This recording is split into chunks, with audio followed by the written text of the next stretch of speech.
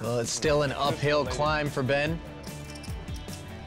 Under the gun this time around, but with considerably more chips. Yeah, Ben just over five big blinds to start this hand. I think a lot of people would just instantly go all in when they see an ace and they have five big blinds.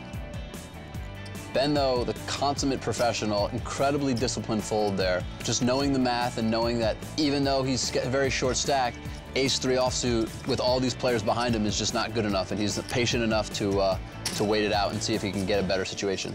Jake Schindler, meanwhile, will open the action with a raise to 22,000. The 25-year-old pro calls Hollywood, Florida home. You may recognize that town. Also home to Jason Mercier, a familiar name here on the tour. This is Jake's first Alpha 8 appearance, and he is going to be heads up in position against Dan Colman, the intimidating professional who has queen jack suited and has flopped a flush draw. Two kings and a five with a couple of clubs. Dan checks it. Jake seizing the opportunity to fire a continuation bet of 21,000. I might have actually checked back here if I were Jake with Queen 10. It's got some showdown value and not too much equity.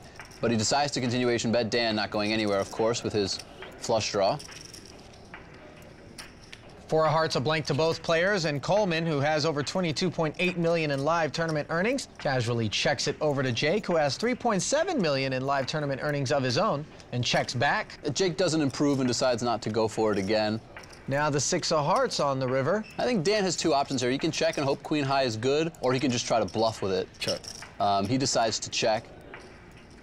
And Jake looks like he sees this as an opportunity to try to bet. Knows that he can't win in showdown, or assumes he can't win in showdown, that Dan either has a hand like ace high, or maybe a five, maybe pocket threes.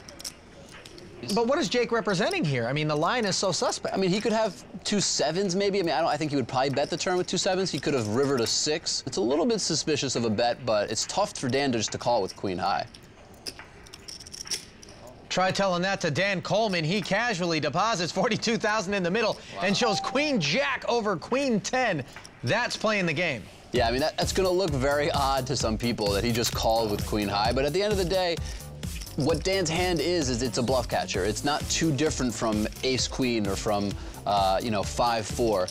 He knows that he beats almost all or all of Jake's bluffs. If Jake had Ace High or a pair, he probably wouldn't feel the need to bluff.